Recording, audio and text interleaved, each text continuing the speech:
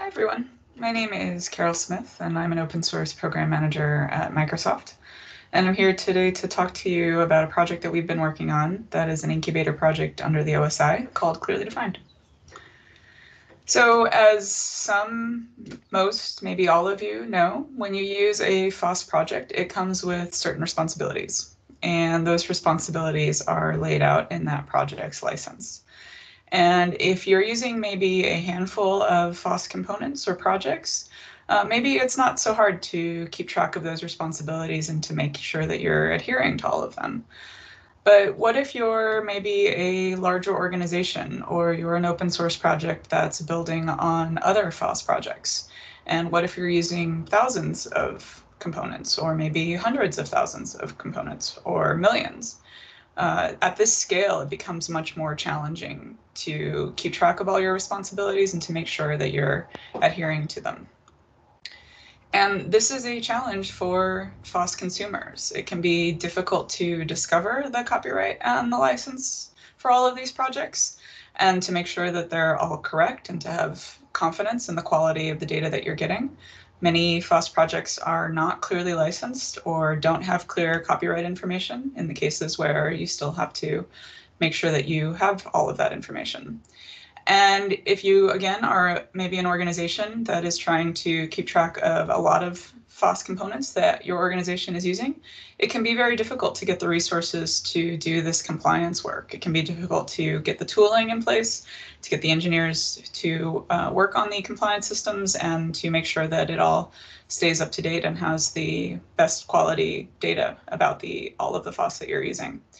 And this is difficult, as I said, at numeric diversity. So uh, when you're talking about hundreds of thousands or millions of components, and it's also difficulty at scale when you're talking about diversity across ecosystems. So different package managers work in different ways, and it can be difficult to keep track of all of that. And this can also be very duplicative, resource intensive work. Often you can find out the license and copyright and source information about 100,000 components on day one, and then your dependencies change and you have new projects that you need to find out the license information for. And again, it can be quite, quite difficult, quite resource intensive and quite duplicative. And this is a problem for FOSS projects because when there isn't clarity, it creates friction and it can be difficult for a person who doesn't have confidence in how you are licensed, how your project is licensed, to feel confident in using your project because they may not be adhering to the license of your project, even if they think they know what the license is. And if they don't have confidence, that might reduce adoption of your project or engagement in your project or in your community. And this demand for rigor takes resources and, and expertise and compliance. And this is not only difficult for FOSS projects in terms of adoption, but it's also difficult for FOSS projects who are building on other FOSS projects. So as a FOSS project, you are yourself using open source and you so you are a consumer and so when you are not clear about the license of the open source that you are using then it is not clear when you release your project what all of the open source that you've built on and how it is licensed. And so you inherit the issues of the dependencies that, that you have. And then you pass those on to the people who are using your FOSS project. And then there's lack of clarity throughout the entire pipeline. And so because this is such a challenge, uh, a huge industry has been built up around this problem around the compliance space. And there are lots and lots and lots of projects in this space that are all complementary and are all trying to solve slightly different problems. And some are meant to work together, some are meant to work independently. Uh, but there's uh, lots and lots of projects in this space that are all focused on slightly different things. But Clearly Defined is interested only in the data. Um, these projects are all complementary and work well with Clearly Defined, but Clearly Defined is focused on, on one thing and one thing only, which is the data itself and having high quality data and giving our users confidence in that data. And specifically, we are interested in three pieces of information about FOSS projects. We are interested in what is its license, what is its source location, and what is its copyright information, because those are the three pieces of information that our users need in order to meet their compliance responsibilities in whatever tooling and whatever system that they're using. And this is a difficult problem, but it also means that it's a problem that open source is really well suited to face.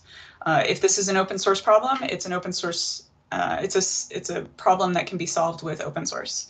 Um, this is a problem that everyone in this open source ecosystem is facing, and so it is a community problem, and we think it is a community solution that we can bring to it. We want to bring crowdsource, crowdsourcing and transparency and other philosophies in open source to this project.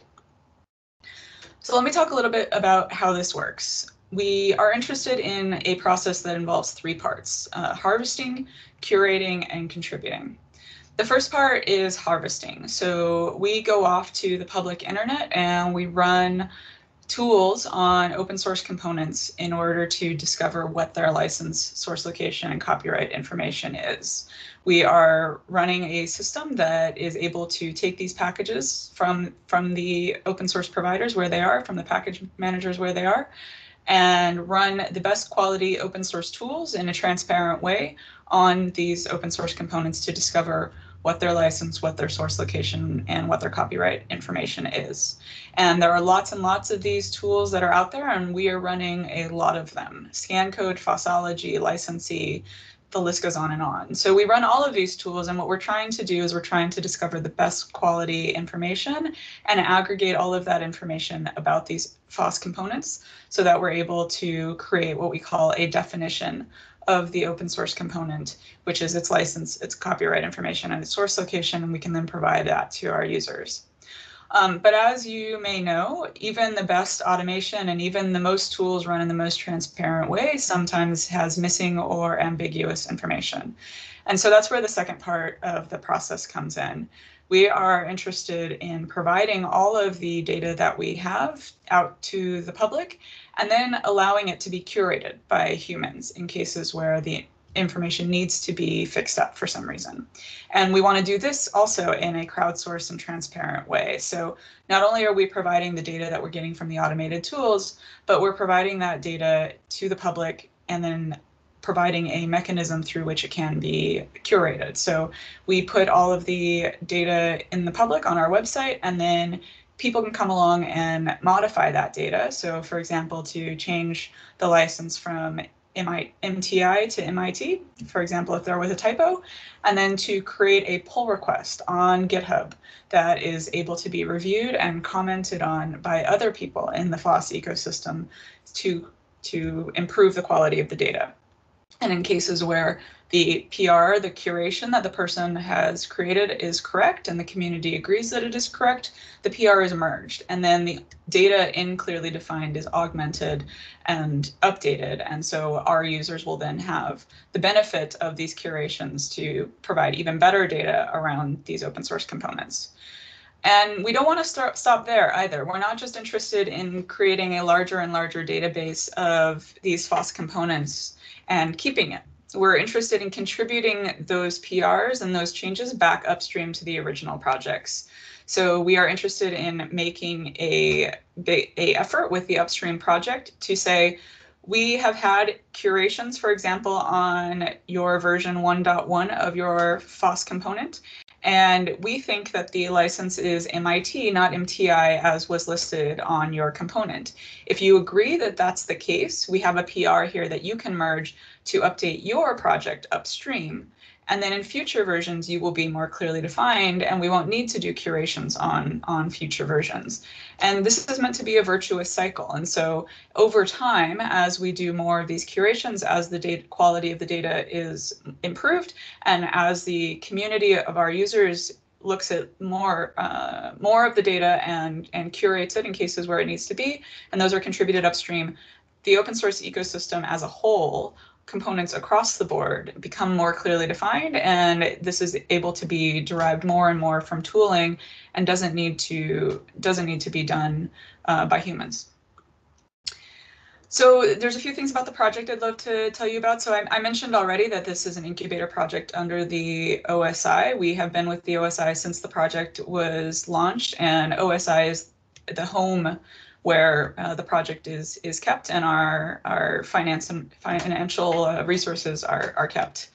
Um, from the beginning, we've always felt that clearly defined aligned incredibly well with the OSI's mission of stewarding open source and its licenses. Um, because the OSI's core mission is around clear licenses and and what the open source uh, definition is and stewarding that we always felt like clearly defined was was well aligned with that and so we wanted to make clearly defined uh, have its home at, at OSI from the beginning, and so we have. Um, we also love being with OSI because it is a vendor and community neutral home. One of the important philosophies around Clearly Defined is that we don't think this is anyone's opinion. We don't want this to be any organization's reflection on the data. These are simply facts about the about the FOSS components that we have been able to derive from tooling or from human curation. Uh, this is not a good or bad judgment and this is not i think that this might be the license but i'm not sure. It's we want to base it on on facts and and we want it to be neutral to both communities and to to vendors. Um, and clearly defined operates like any other open source community. We have a community of folks who are engaged in the project we'd love to to have you join as well if you are interested uh, but it is also a, a project that works out in the open and is a collaboration amongst lots and lots of organizations as well as individuals. And it is meant, again, to be vendor and community neutral.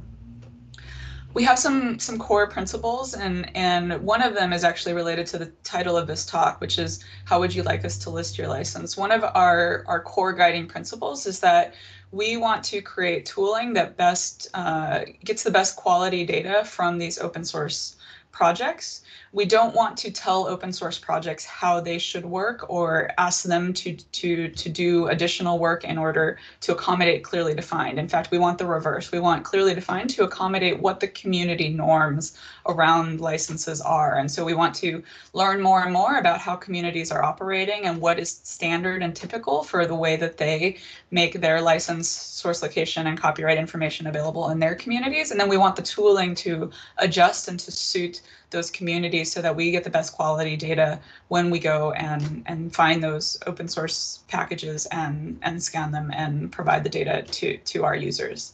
Um, and as I mentioned, we want, always want to work upstream with the with the projects, not not just uh, with what their community norms are and how to get the best data around the open source that they're producing, but also to create PRs and to work with them in whatever way makes sense to get our contributions to uh, make the data better in cases where, where it's appropriate with them as well.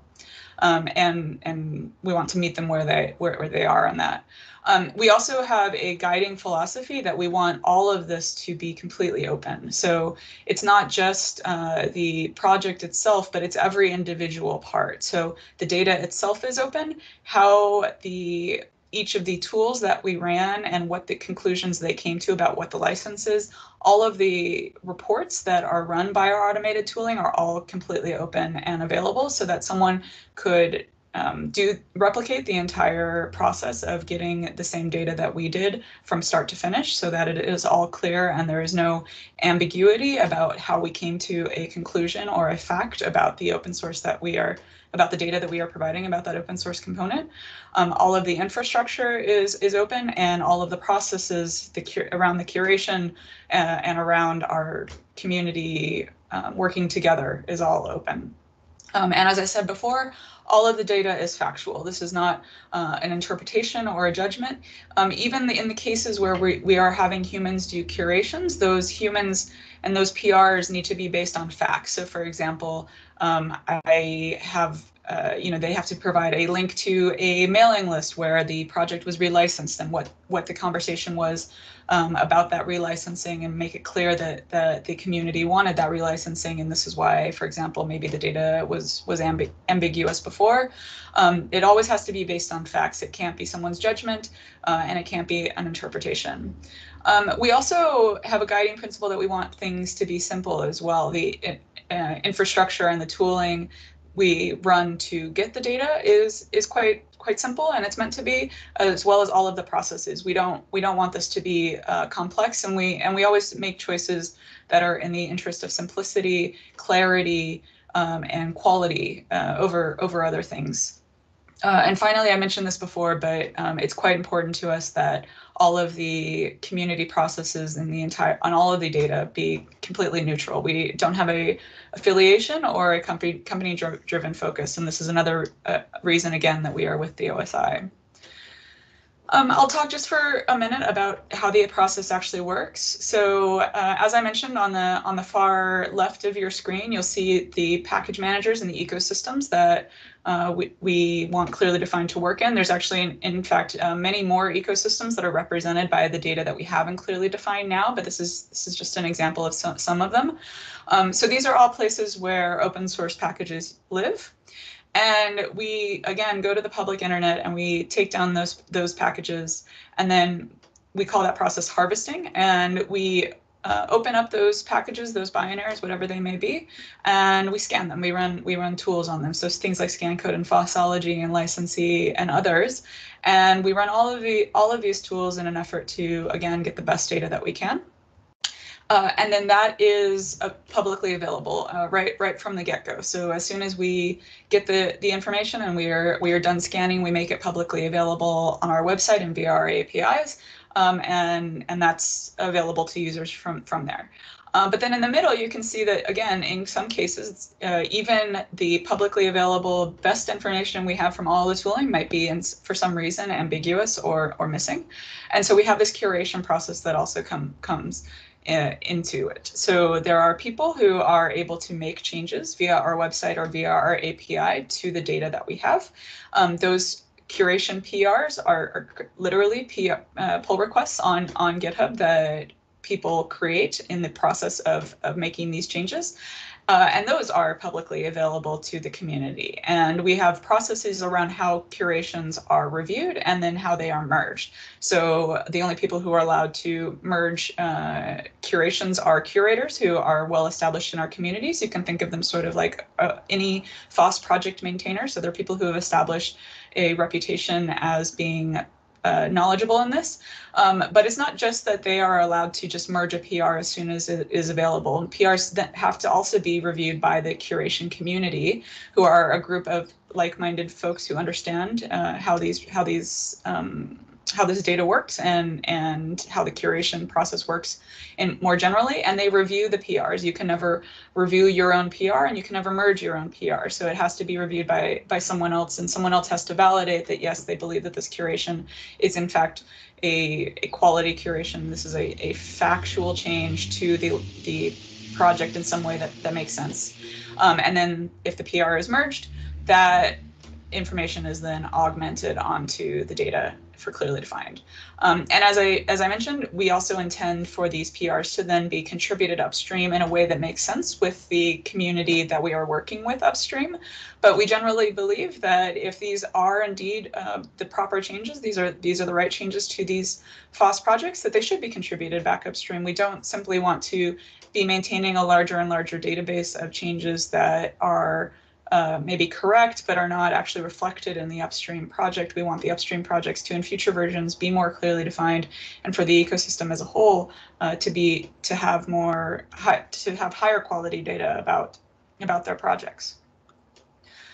Um, and just a, a, couple minutes on, on a few other things. So first of all, this reaches farther than just uh, clearly defined in this license information. We also have a concept of scoring. So how clearly defined a, any given project is. And we intend to try to, to work to as I said, over time, have ecosystems be more clearly defined. For example, if you're if you say that your license is MIT, do we see the MIT license somewhere in your project? This is uh, one of the components of, of how your project is is scored.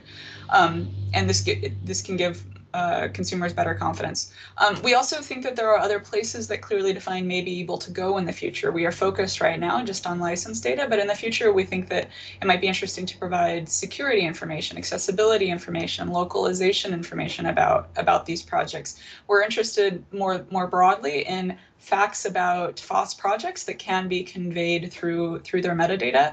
And right now we are focused on, on license information, but in the future we, we hope to focus on other things. And you can help clearly defined. Uh, there are lots of things you can do. First of all, you can go to the website right now, clearlydefined.io, or you can go to our GitHub, which is github.com slash clearlydefined. Um, and please use the data. We have APIs available uh, for, for you to use the data, and we want you to contribute to it as well in the cases where uh, you see a problem. Please do curations. You can do a curation right now on your favorite FOSS project at clearlydefined.io. If you see something that's that's missing or ambiguous, you can make a contribution right now. Um, and please donate to the OSI. You can make a charitable donation to OSI right now, and you can have it be for clearly defined if you would like to see us in the future uh, do more work in this space. Um, and you can make your project more clearly defined. So please make it available, uh, the information like the license source location and copyright information about your project uh, in a clear way. And please make sure that you are, are clearly defined uh, in, in your in the rest of your uh, project's ecosystem. Um, and please join our community as well. We'd love to have you help us drive policies, process, and direction. Um, so with that, I will finish it up. You can email me at carols at microsoft.com. I'm at FOSSYGirl without an I on Twitter, and you can find Clearly Defined at Clearly Deft. And I will take questions now. So thank you very much. Ah, so question is, uh, if I'm a repo maintainer and your bot starts sniffing and analyzing my repo, does that activity necessarily notify me? Uh, no, we don't do any uh, any sniffing or analyzing of your repo. So um, we pull down packages from the package managers directly, and uh, and then we do all of our work in our own uh, cloud infrastructure. Uh, so it will not affect you at all. we do have our own sort of um, processes uh, with GitHub and and how we do uh, source location um, and uh, and get and we examine your Git history, but uh, no, it will not affect you at all.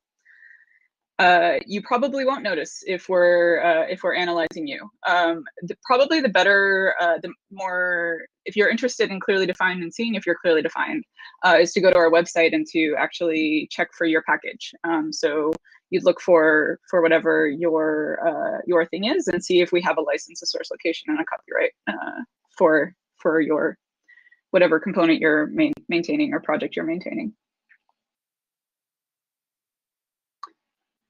Uh, question is, have you seen any problems with older code or dead authors and trying to ascertain the license?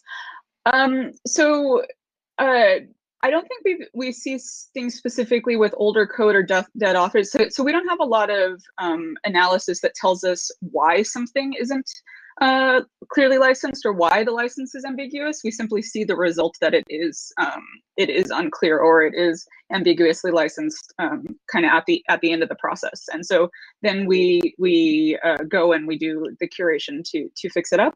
Uh, but uh, a lot of the the why is is sometimes can be unclear to us. Uh, actually, as well, since uh, we're kind of doing the same thing that the, the public does, which is if the public is uh, if it's available on a on a public package manager um, and somebody sees that it doesn't have a license, we see that it doesn't have a license, uh, but we don't know specifically why. What is the next big thing clearly defined needs to add? Uh, so one of the, the most common requests uh, we get from our users is uh, we've got lots of folks who are using our public API right now, which is great. Uh, folks who are just using the data in their uh, their sort of day-to-day processes in their organizations.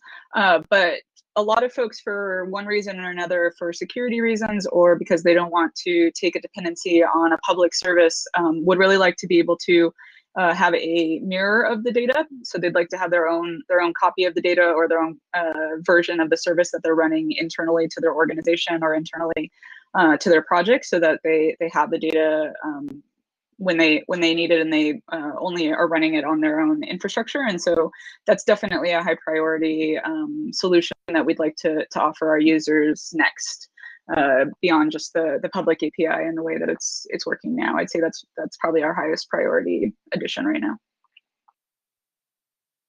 Please go and uh, check for your your own uh, packages, your own projects on Clearly Defined. Let us know if you don't find your own.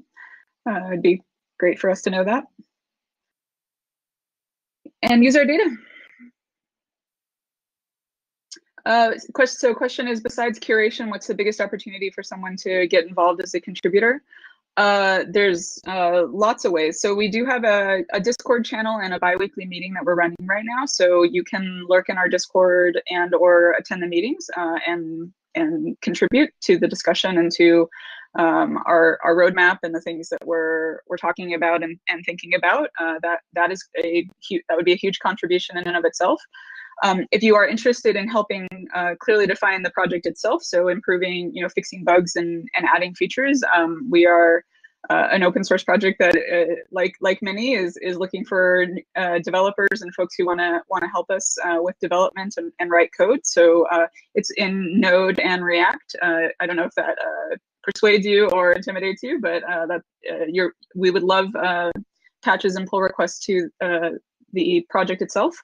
Um, and then uh, it is actually I, uh, it, it is actually a contribution to use our data. Um, we have uh, 10 million packages right now that we've we've scanned across about uh, 11 different uh, package ecosystems, uh, but we don't know what we don't know, and so there's going to be lots of places where we still don't have coverage, or we still uh, ecosystems that we still don't uh, know a lot about or have a lot of packages from. And uh, you asking about it and and asking for for data about packages in different ecosystems in different places uh, is absolutely a good way to to contribute to let us know that there's there's interest in this ecosystem or in this kind of package in jQuery of, of this variety or uh, whatever whatever you're interested in.